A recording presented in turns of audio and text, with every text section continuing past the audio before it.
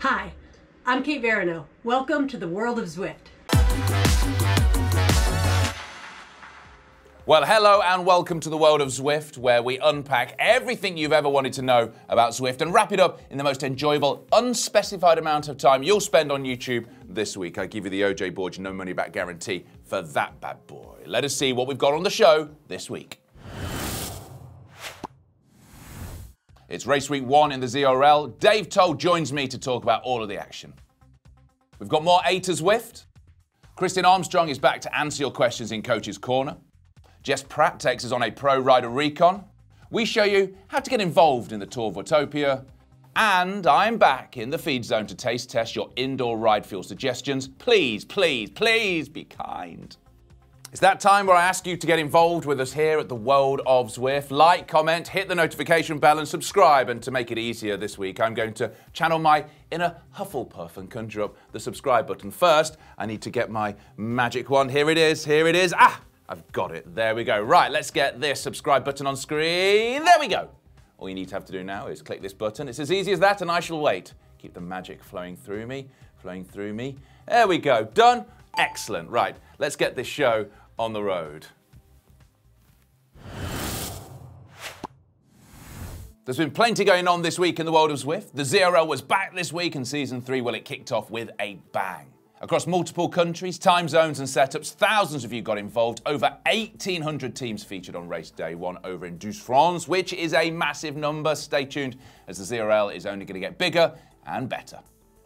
We all know how the Zwift Racing League works. Well, now we have a running league for all you yogging fans out there. Could be jogging, might be yogging. I'm not sure if it's a soft J or not. Anyway, the series will run for six weeks from the 16th of April, and runners from around the globe will be able to get involved every Friday. It'll comprise of two types of races cross country and relay. So, all of you runners out there, get yourself over to the website to get your team signed up now. Australian triathlon brand 2XU have joined up with Zwift to create an exciting and engaging six-week training series. Each week will be curated by a different 2XU athlete with rides, workouts, and live Q&A sessions. And remember, if you find it hard to type and work out at the same time, which I do, mash the keyboard. All you need to do is fire your questions over with voice dictation. Easy. Well-known sports company Decathlon are currently changing the lives of six prison inmates through Zwift. They've made a short movie all about their brand new Zwift esports team, who are all currently competing from behind bars. The initiative is aimed at helping to reform these prisoners' lives by getting them to get involved in a team event all on Zwift. And finally, our favourite Zwift podcast, it is back. And this week, the Up podcast hosts one of the standout Zwift community riders, that is Rachel Elliott. Unfortunately, Rachel had a stroke a few years ago, but she's battled back to almost perfect health, and she's an absolutely incredible rider. So tune in to hear her story. We are three weeks into the double XP heaven that is the Tour of Watopia, and I tell you what, you have flocked in huge numbers to grab those precious points. Here is what you can expect this week on the tour. And whilst you watch, I'm just going to go and complete stage two. Enjoy.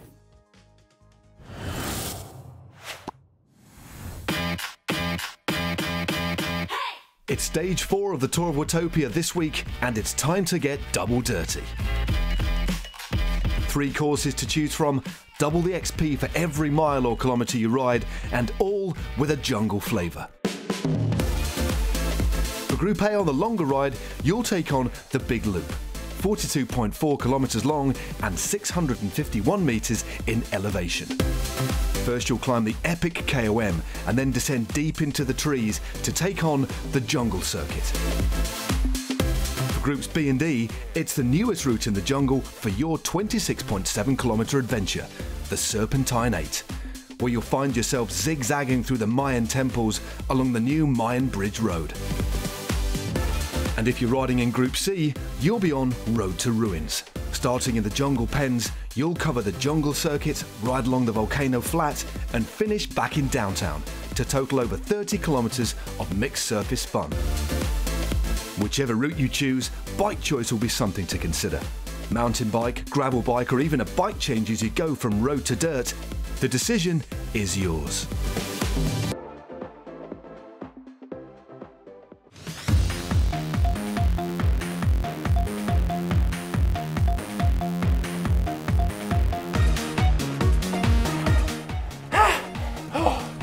Sprinting for top 200 there. Oh my word, I've never ridden it so quickly. Legs of fire. And for me, that is the second stage of the Tour of Watopia completed. If you've missed the first two stages, don't worry, there's still three more to go. And there's a makeup week between the 23rd and the 29th of April. Man, my eyes are stinging ah, from the sweat. Now though, I need to get someone to hose me down and get back in the studio. Nurse! Ah, it's that time again where food is not so much fuel, but more a smorgasbord of disgusting suggestions from you, our wonderful viewers of the world of Zwift. And this week, your suggestions have been interesting to say the least. Someone who sounds like they're straight out of Peaky Blinders, or for Bridges, kindly suggested something that even he wouldn't try ketchup on garlic bread. But Arthur, that's basically pizza. It's something that I lived on while I was a student. So I'm not going to try that only because I've done it so much in the past. Chris Hyam, well, he got in touch with something, well, he wanted to torture me, let's put it like that, with a strange food combo. 20 Scotch bonnet chilies with melted chocolate on. No thank you, that sounds pretty horrifying and like I'd be tasting it for a week to go by. But if you want to show us how you eat it, Chris, by sending a video, then I will then give it a go. This week, we decided to go with AM Westgate's idea as it's something you couldn't have for outdoor riding. Now, it is Kraft mac and cheese with ketchup. Now, just look at that. It looks like something out of a, a B movie special effects department when they ran out of money. Not judging, merely observing. And I have to say that I am salivating at the idea of this. So, fork in hand, white shirt on, possibly a bad choice. Let's dig in. Get a big old, I think if you're going to do this, you've got to really, really go for it. Let's load up this fork with a big old platoon of macaroni with a bit of ketchup on top. Mmm. And this week, sorry for eating with my mouth full, I've decided to add an extra layer to my review process in ASMR check. So, here we go.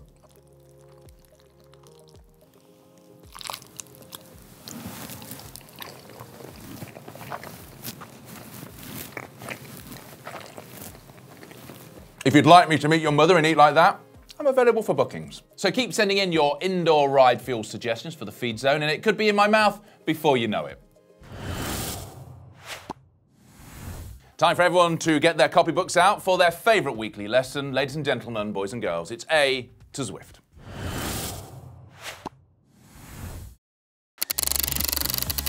X is for XP, or experience points. Every time you ride on Zwift, you earn XP and earning XP helps you level up, which in turn helps you unlock routes, kits, frames, shades, and wheels. Sweet, right? If you're looking to level up fast, there are tons of ways to help you earn more XP, so listen closely. Every time you complete a new route, you earn XP. Every time you complete a workout block, you earn XP. If you ride with a pace partner, you can earn more XP pick up the plus sign power ups, more XP. If you achieve an in game badge, you guessed it, more XP. And if you're looking for a way to get a lot of XP fast, then Tour of Watopia with its double XP for every ride is a surefire hit. Ride each course as many times as you like and pile on those XP. Who knows, you might surprise yourself with how quickly you level up. Stick around because coming up, we've still got all the action reaction from round one of the ZRL. You've been in the comments asking more training based questions, and guess what? I've used my extensive cycling hookups to get Kristin Armstrong back in the coach's corner to answer all of your queries. Hi everyone, it's Kristin Armstrong here back with Coach's Corner and the World of Zwift. I'm so excited to answer more questions from our viewers and listeners this week. So first question up, what do you think the best strategy is for a time trial? You want a negative split? Do you want a steady pace? Do you want a strong start and finish? Number one, let's talk about just the course in general. Use landmarks, use terrain to break up the course. This is gonna help you mentally, which is a huge part of the individual time trial.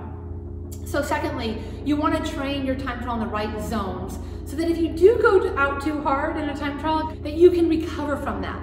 Force your body to adapt to undulations. You have to train specifically for the course that you're trying to focus on. Looking for the over-unders, looking for blocks of threshold that are above I would say 100 to 106% of that threshold is gonna get you ready for that time trial. All right, final question for the week here. Hi, Kristin, I've read that you have an arthritic hip. I would appreciate any advice on how you deal with this condition. I'm a 61 year old and has suffered with severe arthritis in my left hip for several years now. My problem is that I have a difficult time generating power while in the saddle. And I spend probably too much time out of the saddle. And as for strength, I find the only thing that works for my lower body is to be on the bike. So some of the things that I would uh, recommend is number one, activate prior to your ride, glutes, hamstrings, lower back, core. It's all about engagement. Make sure your bike fit is set up, that you're as open as possible with those hip flexors. And that might mean rising that front end. And thirdly, make sure you finish your, your ride the same way you started, which is with a great activation and mobility program. Thank you so much. Wishing all of you the best. And please send in your questions. I love answering those questions from all of our listeners and viewers. Until next time. Keep posting those questions in the comments, and we'll get one of our expert coaches to answer them on the show for you. It was all systems go for race one of the ZRL. Let's take a look at how the men got on. Welcome back to season three of the Zwift Racing League. It is a team time trial. 24K today, 133 meters of climbing. Beast mode powered by a Rose uh, team.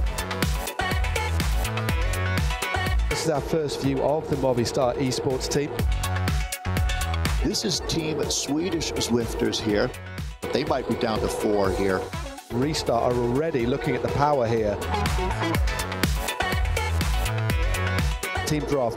The men in red. Zwift Warrior Cycling. Kalas, a real mighty, strong team. Legion of Los Angeles. Looks like they've actually lost Sam Bourbon, so not a great start.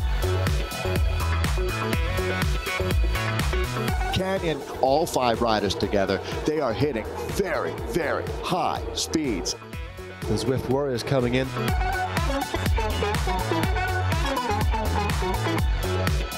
The big question is, Dave, what can Canyon do here? And it's Kirchmair who have taken the win by only three seconds from draft. Saris in the pros closet in third place, but look how closely packed these teams were. Wild, wild way to start week one of eight here for the ZRL.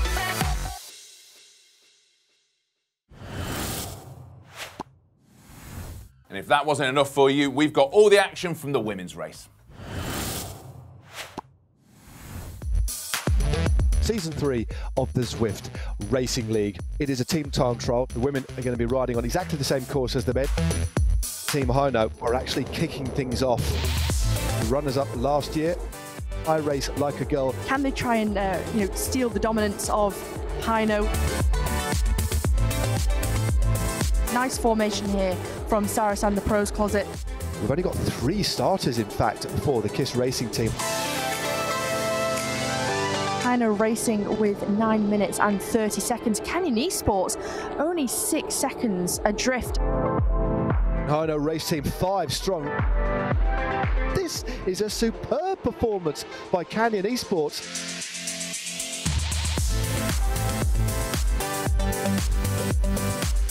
Team Beast Mode Aeonian across the line, very, very close behind to KISS Racing Team. TFC down to three. Movistar have overtaken Vision E Racing. Wonderful ride there by Turbo as they cross the line. Hino Racing, well, they have done it again. They have a 17 race unbroken run of winning. Canyon Esports, a very solid performance by them in second. I race like a girl with a 32 35. Starting season three with a bang.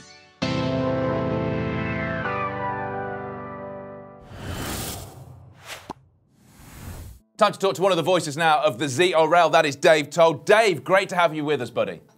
Hey, thanks for having me, OJ. We had an incredible first day of racing. Uh, wow, season three is lit. We kicked off with a TT this season, Dave, which is very exciting.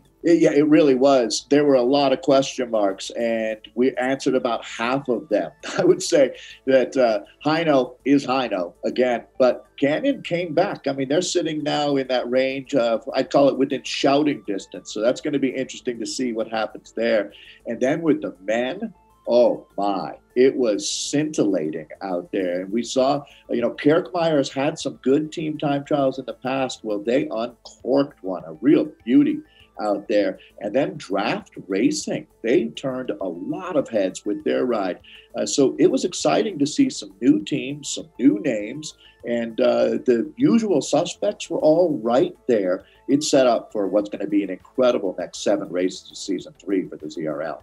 Well, let's talk about the men's first. Did you see many teams that looked like they'd worked on their TT in, in the men's, the team time training? Because it's so important, the technique. You know, OJ, I would say that Team Draft really stood out to me as, a ride in the men's that they have been doing their homework and it paid off in a major way. They were always good in the team time trial, but this was a next level effort for sure. My heart goes out to the teams like Movistar as they really, I mean, that team just formed as that process, uh, that scheme has only been going on for the last month. So now we can see that they're going to, uh, they have some work to do but they've got a lot of room to grow. They've brought some talented riders onto that program. And certainly, uh, I'm going to expect them to start climbing that ladder and end up as one of our top five teams week in, week out. I mean, it was Douce France. We knew what it was like. In commentary, you said that the race was going to be won or lost on that climb up to the aqueduct. Was that played out? Did we see the teams that went the fastest up there come out with the best times? Yeah, we did. I mean, it was the teams that, yes, set an aggressive schedule out there, and that was clearly Kirchmair. This is a team, it's a, an Austrian German squad, but interestingly enough, the namesake for the team, Stefan Kirchmair, wasn't with the team during season two. Now that he's with them, it seemed like uh, there was an extra level of motivation, and they really uh, poured it on on that aqueduct climb. Well, that's the men's first race. Very much interesting. Let's take a look at the final placings right now. Now let's talk about the women's, Dave. Um, Hino, I mean, back in familiar territory where they left off, not just in season one, but in season two as well. Not just out in front by a bit, but it's strong, strong winners of that first round. Yeah, I mean, to call them the gold standard is underselling them, to tell you the truth. When you look at the technique, the execution, and I think really, OJ, the secret sauce for Hino, I'm realizing, is these women love each other and they love what they do. And it really, really shows. Uh, mm. their commitment is insane. And when you look at uh, the technique that they were able to use throughout the 24K yesterday, it was an absolute clinic. I, I think the other teams have to look at this and really, right now, not be discouraged, but say, that is something that we can aspire to try to do ourselves. But the one, again, that secret ingredient of loving what you do it really shows with that team. Their passion for team time trialing is unrivaled. This is the greatest esports team that we have ever seen, men or women. Uh, I just want to talk about the technical ability of Hino because we've actually got some pictures which we can show here, which goes to show you how much they work the draft, how great their technique is. Dave, talk us through this and why Hino are the team that everyone should be looking at. This is the sweet science of team time trialing. Honestly, as I said, it's a clinic when you look at the way that they're able to ramp up their speed smoothly, the way that they every rider is able to take a pull. That might be one of the, the luxuries that Hino has. Is not only are these women well drilled and committed, but they're also very much at the same high level of ability. So there is no passenger in the Hino train. It's nothing but pure locomotive. We started with a team time trial we go into a points race next week. It's the Beach Island Loop. What are we going to see next week, do you think, Dave? How do you think the racing's going to change? A sprint. Everybody would really be uh, in that group that you would call a puncher or a climber, basically. But what we're looking for is the best sprinter out of that group, and I can't wait to see who it is. It should be a relatively large group going to the line, although with the exciting new bonus point structure that we have, it's entirely possible that we see in season three a whole different style of racing. And the other thing to remember is the, the women's teams now, if you want to beat Hino, you're going to have to come out of left field. So it wasn't just the Premier Division and the elites that kicked off, it was also the community divisions all across the planet, all divisions, all racing on the same day, Dave yeah, one of my favorite things is just seeing on social media how much the ZRL means to folks. And you're absolutely right. All the way from uh, D level racers to the super competitive A's. And I think one of the things that they in the community should take some inspiration off of was seeing the teams that did get promoted more than holding their own out there. So there's definitely something to look forward to. And it's so great to see people connecting with this. Just awesome. Dave Towle, it's been a pleasure. Thank you. Thanks, OJ. Next up for the ZRL is the first points race of the season, which I am very excited about. And the riders will be racing the Beach Island Loop for the very first time. So I sent former ZA champion and current pro rider Jess Pratt on her recon of the course.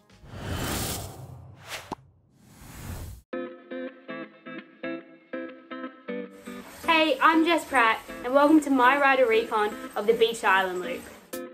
So the Beach Island Loop is 12.8 kilometres with only 48 metres of elevation gain, so very flat and fast. Straight out of the pens and we immediately start with an uphill. Only 2 to 3% gradient, but you need to make sure you're warmed up. Once we crest the first little drag, the course is relatively uneventful for the first few kilometres. Due to the unpredictable nature of the course, you want to make sure you're conserving energy at the start. 4.4k in, and we're nearing the main little kicker of the course. This short first little kicker maxes out at a gradient of 5%. Nothing crazy, but in combination with being on dirt, it adds to the challenge. It's what comes immediately after this kicker that's going to be important. As you crest this first little climb, the intermediate sprint looms. This may provide a good opportunity for somebody to go from the bottom of the climb all the way to the immediate sprint line. So over the top of the climb now, and immediately you begin to think how you can win this intermediate sprint. Is somebody already off the front, or is it going to be a bunch kick? 200 metres to go, and it's, been, it's a flat and fast intermediate sprint. But in combination with the little kicker before, it's going to burn the legs. Immediately after that sprint, we take a right hand turn to a flat and fast piece of tarmac. That last little kicker in the intermediate sprint is nothing too crazy, but with three laps in the ZRL race, you'll be feeling the burn in your legs. With only a few kilometres to go, we exit the underwater tunnel. Only 2 to 3% in gradient, but definitely a place for the opportunists. A solid bout of 2 minute max power could see you the win here. But for the sprinters, sitting and conserving will be the way to go. Only short, but if you're not paying attention, this little kicker could be the end of your race. Once we've crested this final climb, it's full focus to the finish. Nearing the final kilometre, we take a sharp right-hander. For the sprinters, positioning will be key here. But maybe there's a sneaky opportunist that's jumped off the front. 200 metres to go and it's full gas to the finish. The upcoming ZRL race will feature three laps of this exciting loop. I think it's going to be one for the sprinters. With only 48 metres elevation gain, it's nothing too crazy. Although with some of those dirt sections in there and the intermediate sprint placing, it's definitely going to be an unpredictable race. Conserving and maybe a little bit of luck is going to be key to winning this sprint finish. Ah, that's it for the show, and that means it's time now for you to get involved, whether that be training, racing, or mopping up the double XP on the Tour of Watopia. Wherever it is, have fun, and until then, ride on.